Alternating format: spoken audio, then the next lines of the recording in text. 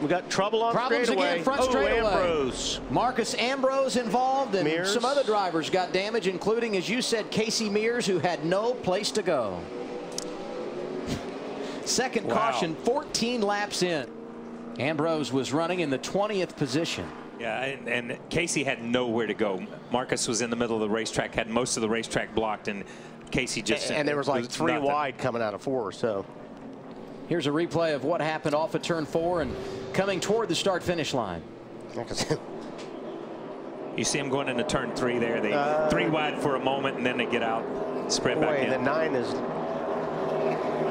oh, Well, it looks like Harvick basically just booted him on that yeah. one. I'd, I'd say Harvick just took him out right Yep. there. Uh, they got together a little bit, and as Harvick drove into him uh, and stayed into him. Yeah, you watch right see- here. You can get off a guy when he's when he's getting a little bit loose, and Harvick decided he wasn't going to do that. Yeah. Allmendinger got a little damage too.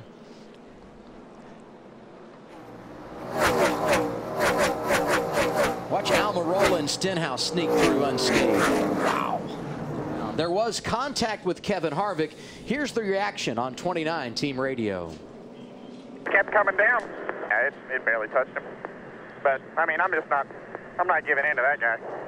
That guy's a weapon every week. So I just held my line, and he drove across the front of my nose.